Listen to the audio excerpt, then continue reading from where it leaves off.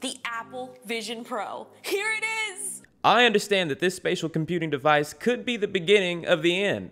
I still want it. You're going to be set up for success after this because it's so simple, it's so intuitive, and it really is amazing. And I understand the dystopian aspects of it. It's made me feel really strange now in the real world because when I'm looking at something, it's hard for my brain to comprehend that I can't look at it, pinch, and bring it closer to myself. The other ones, I didn't really want them. The Oculus, the, the metaverse thing, I don't, the PSVR, I'm sorry y'all, I did not want them. I mean, they were kind of cool at the time, but I didn't really want them. This, and it will slowly dial your environment more and more into your field of view until you dial it all the way up to fully surrounding you. So I tried to watch the Marques Brownlee unboxing video, but this man is moving so slow. Man, it's like a shoebox. Like, this dude really thinks that this is an ASMR video.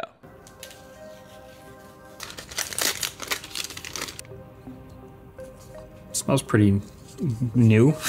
Bruh, open the package. Is he whispering? Why are you whispering? Take this protective off the first time. Dang.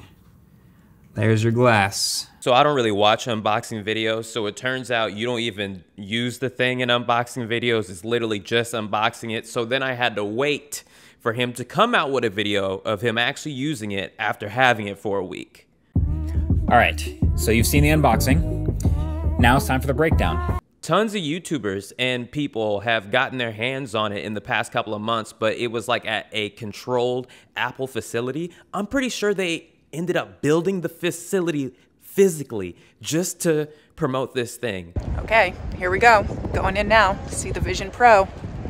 No photos, no video? No. So I have good news and bad news. And it was wild. It felt like Apple stuck a giant Apple Watch to my head. In a good way. The sock-like headband was easy to put on and adjust the size with the knob. Oh look, Tim Cook showed up. Not wearing the headset. They didn't get to bring in their cameras, but a lot of them described it as being the closest thing to real magic. My main question is, how do you type on this mother lover? Oh, I'm gonna write back. The keyboard pops up and I can put this wherever I want. Now the typing on here is so wild because it, it kind of feels like I'm actually typing. Okay, so there are apparently three different types of ways to type. The the physical typer like that. I'm a really fast typer in real life. I can't see myself getting used to this type. To literally hunt and peck, poking the keys on the keyboard that appears in the air in front of you. so this one is tough because it literally only reacts to your pointer finger on each hand. Then there's of course, you know, the the boomer way using the uh, the mic which is awesome. The last way to do it is literally to just look up at the microphone and say the URL out loud, mkbhd.com and then it just hears you and goes to the site pretty quick. And then apparently you can look at and tap with your finger uh, exactly which key. I know that young people are going to get really good at that, and that's going to be weird. To literally hunt and peck, poking the keys on the keyboard that appears in the air in front of you. so this one is tough because it literally only reacts to your pointer finger on each hand. A couple of months ago when Apple first announced it was coming out with a spatial computing device, I thought this type of technology was at least 10 years away. Not like six months. Nine, like I mean, I feel like this is like a nine out of ten, like of how we actually look. It's pretty like, good, and also like skin tones too, because we all three yeah. of us have very different complexions too, and I feel like it actually, I think he did a pretty good job. Every I think when this came out, Casey Neistat tweeted something along the lines of he was naive for thinking this thing was going to be $2,000. Yes, it's $3,400. The first version, the new version. But let's be honest, they're probably going to come out with an Apple Vision, not Pro, Slim, and it's going to be like $500 cheaper. But for those of us who are into technology and want Star Trek to be real, we're going to we're going to sell our soul for this. So I highly suggest you watch this podcast by the guy who created the Oculus and ended up selling it to Mark Zuckerberg in 2014 for $2 billion. So he has an incredibly unique opinion on this. What up? What do you think? Hey, did they nail it?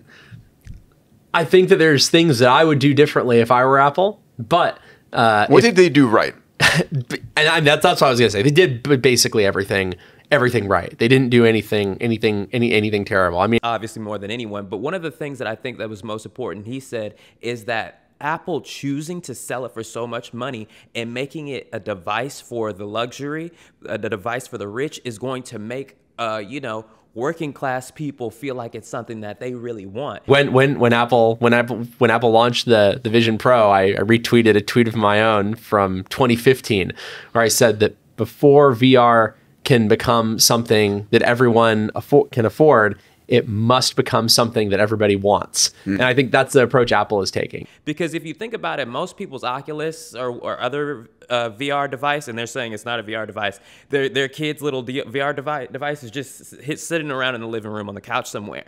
This, I highly doubt.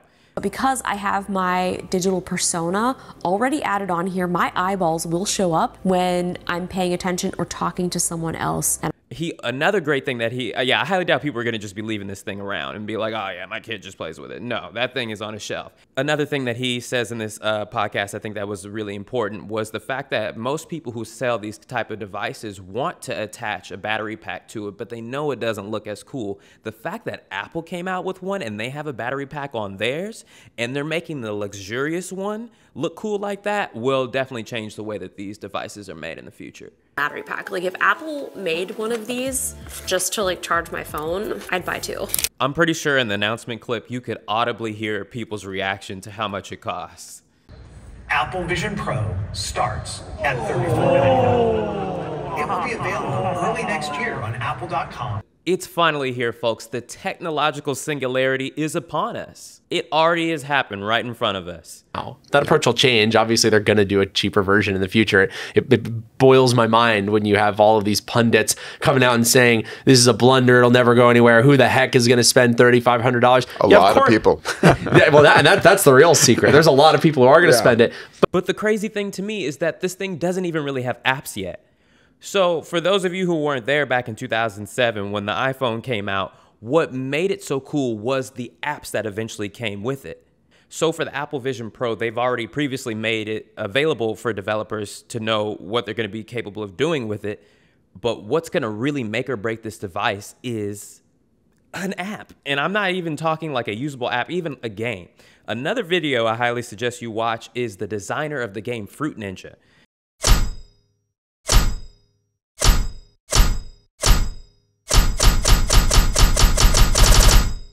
Yes, I designed the original Fruit Ninja.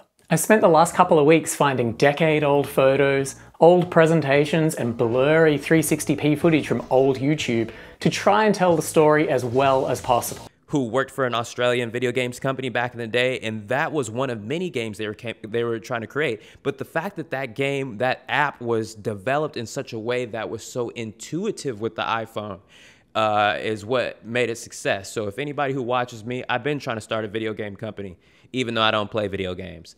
If anybody who watches me knows how to develop apps, come to me. We need to make an app for this. My other question with this thing is, can you walk around with it on? And this mother lover is playing ping pong with it. Through a headset. Also, the pass through is so close to real time that I could legitimately interact with all kinds of things. I could catch items flying at me. I even tried playing ping pong it was easy, no hesitation. So officially the R1 chip is doing all the processing of all this stuff and adjusting the shutter speed for different lighting conditions and always keeping pass-through latency under 12 milliseconds. So I guess you can. I like how the video that Apple came out with on their channel is made specifically to make fun of me, William, who doesn't have this thing yet. But today, you'll see it through the eyes of someone who's never tried it before. Like Will.